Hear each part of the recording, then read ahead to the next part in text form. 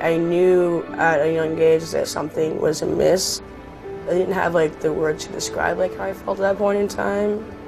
I'm female born by like my sophomore year of high school. I heard the word like transgendered. I was like, wow, that just describes me to a T. I always felt that way.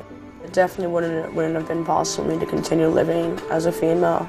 I can't even really describe, you know, the feeling of having your body in some ways betray you.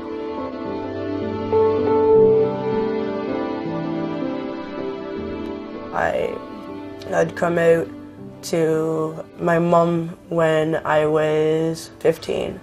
That started things to be really, really rocky between my mom and I. Immediately after I told her that you know I wanted to start transition, I wanted to start living as male full time. Her exact reaction was, "You can do that, you just can't live here."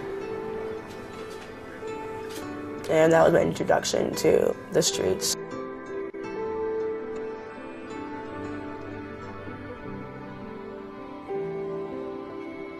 It's so weird being back up here. Staying on the same spot that I used to sleep. You picture the summer night perfectly. The worst was when we were, it would start raining we'd wake up and we'd like dart inside the Apple store to try, you know, get, get it dry. And like the staff and the Apple store employees never really hassled us. You know, never. And it's one of the few like institutions in this in this city that are actually kind when it comes to homeless youth. We wouldn't usually sleep on these benches because they're so small and there's also many of us, so we would just like either be over here sometimes at nighttime. For a long time you could actually sleep on the grass, but they've really kind of cracked down on clearing out places where there are homeless people sleeping because it's an eyesore.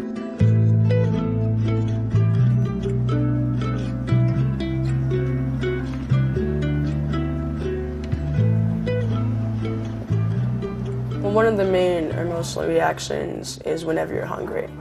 Because for you know a person who's not homeless, like hunger is not an issue. I'd be like, oh, okay, I'm hungry. Well, let's go food shopping, or, or there's a deli, let's get a sandwich. But for a homeless youth, when they're hungry, it's like it's another reminder of your situation and how powerless you are.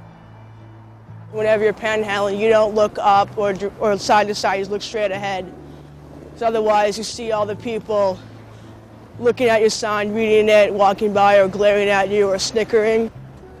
When a traveler has a dog with them, people are more likely to buy the dog food as opposed to the, the, the kid food.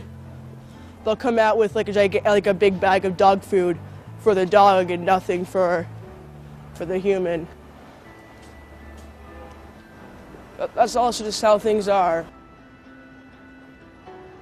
Know, people look, look down upon us and like, without stopping to think that, you know, no, no pro-homeless person is on the streets by choice. You know, something in their lives or some events or that have led to him, led to them being on the street.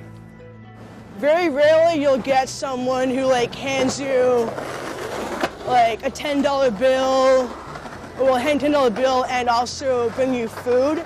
So those little moments that happen very rarely, but when they do happen, it slightly restores your faith in humanity just a little bit. Just a little bit. As soon as I started living as male full time, everything changed. I became very much more self-confident. I was able to you know begin to be the person that you know I wanted to be.